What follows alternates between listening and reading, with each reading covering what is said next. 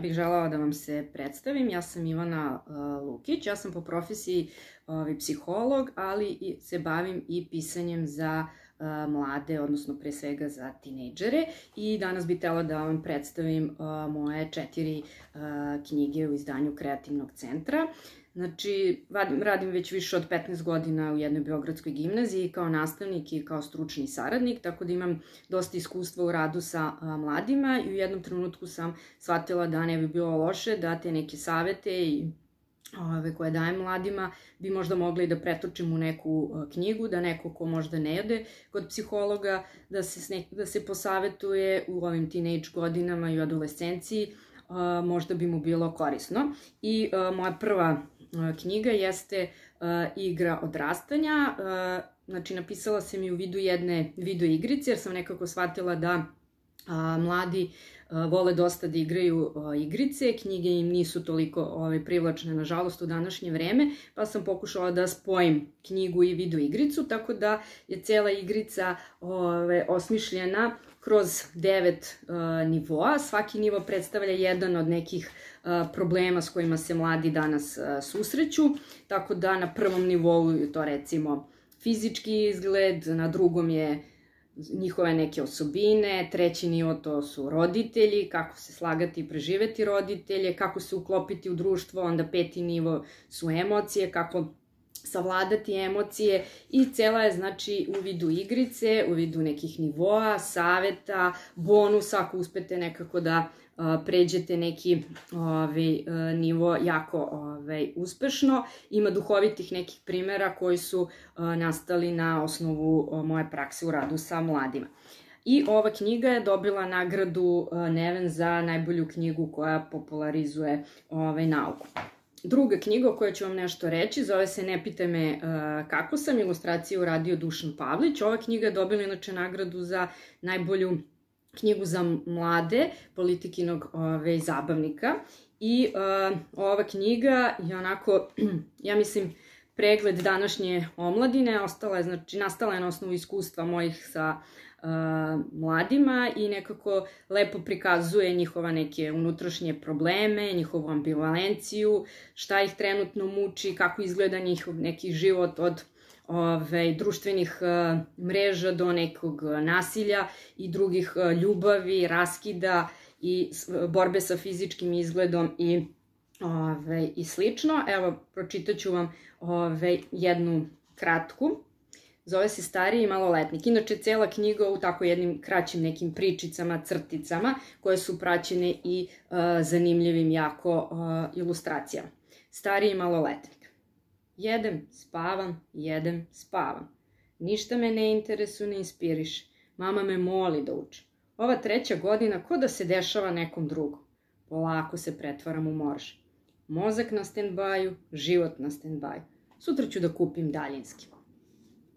Ili, ovaj, recimo, jedna koja ovako zove se junska mantra. Samo da me ne pita sutra, samo da me ne pita sutra, samo da me ne pita sutra. Moram da uradim bar dva zadatka na pismeno da bih dobio dva. Samo da me ne pita danas, samo da me ne pita danas, samo da me ne pita danas. Ako dobijem tri ili četiri, zaključit će mi tri. Samo da me pita ono što znam, samo da me pita ono što znam, samo da me pita ono što znam. Nisam stigla da naučim. Imali smo kontrolni iz fizike danas. Samo da zvoni, samo da zvoni, samo da zvoni. Ako dobijem četiri iz mate i pet iz isto i popravim hemiju, bit ću odličan. Jel mogu da popravim? Jel mogu da popravim? Jel mogu da popravim? Treba mi za uspeh, molim vas. Ali mogu sledećeg časa, ali mogu sledećeg časa, ali mogu sledećeg časa. Eto, pored toga, sledeća knjiga koju bi vam predstavila jeste početak nečeg uh, velikog.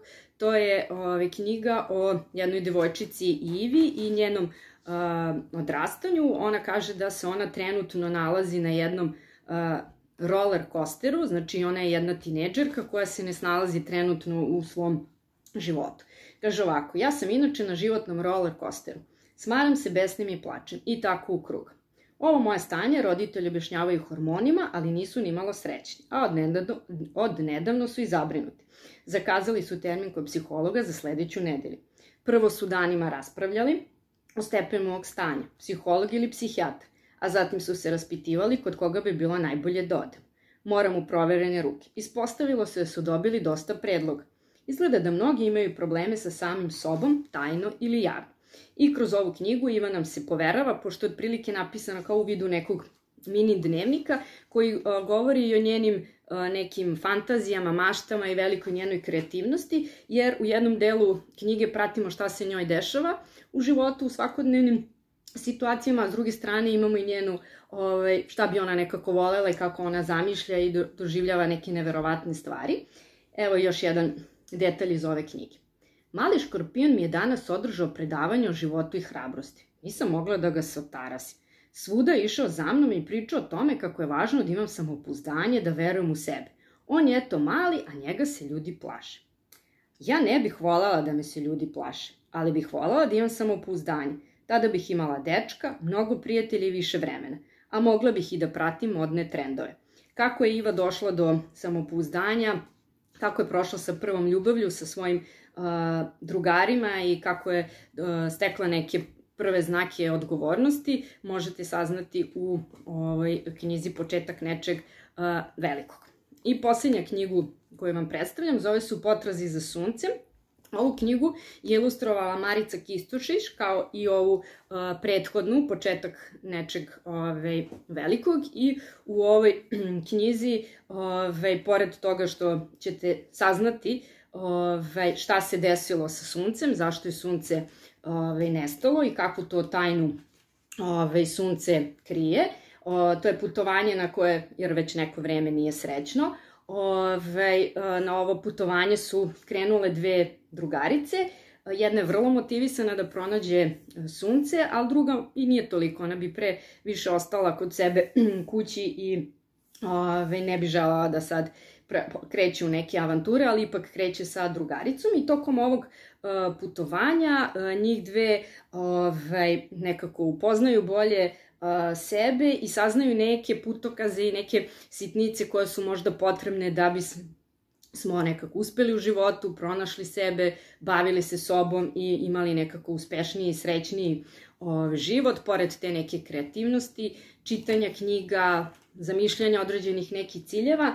Jedna od stvari koja je potrebna na putu i u životu uopšte jeste ove, hrabrost, tako da evo pročitaću vam šta u ovoj knjizi piše o hrabrosti.